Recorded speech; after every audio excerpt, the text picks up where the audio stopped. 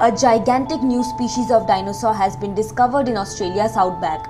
According to paleontologists, it has been recognized as one of the largest dinosaurs to ever roam the earth.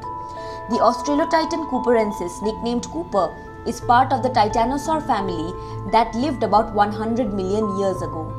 The fossilized bones of this species were first unearthed 15 years ago in 2006, about 1000 kilometers west of Brisbane in the Eromanga Basin.